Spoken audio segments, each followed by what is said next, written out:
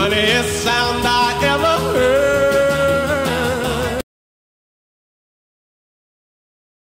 Μία από τις ενότητες που θα δούμε παρακάτω στην 19η Διεθνή Συνάντηση Ντεσεβό που έγινε στο Σάμπρις της Γαλλίας είναι ορισμένοι διοκτήτες των αυτοκινήτων που έχουν ζωγραφίσει διάφορες παραστάσεις έξυπνα απάνω στο αυτοκίνητό τους.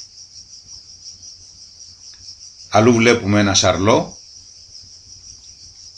ένα κλειδί στο πίσω πρόσθετο καπό, ο άλλος είναι φαν του Αστερίξ, έχοντας διάφορες παραστάσεις τόσο στο καπό όσο και στις δύο πλαϊνές πόρτες του οδηγού και του συνοδηγού. Πιο δίπλα είναι ο Τουίτη, ο οποίος είναι στο καπό μπροστά στην πόρτα, αλλά και ο ίδιος ο οποίος αναπάβεται στην οροφή του αυτοκινήτου.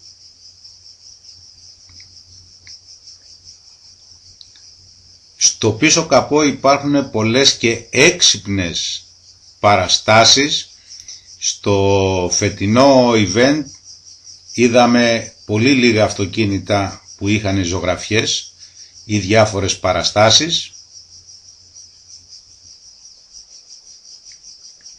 Ένα κοφίνι με ψωμί, ο κόσμος ο οποίος περιφέρεται και φέτος είδαμε το ότι είχε την περισσότερη συμμετοχή.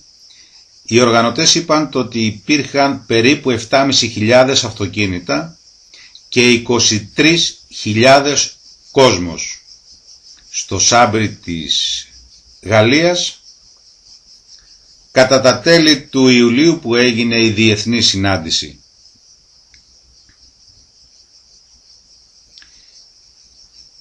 Σπάνια έχουμε δει ζωγραφιές με ηθοποιούς, πόσο μάλλον γνωστούς που έχουν πρωταγωνιστήσει σε ταινίες western παραστάσεις από τη φύση, από τα χωριουδάκια με τα δέντρα και τα σπιτάκια ή αν θέλετε μπορείς να κάνεις το αυτοκίνητό σου με πλακάκια. Λίγες παραστάσεις στο φετινό event και ο χώρος του κάμπινγκ.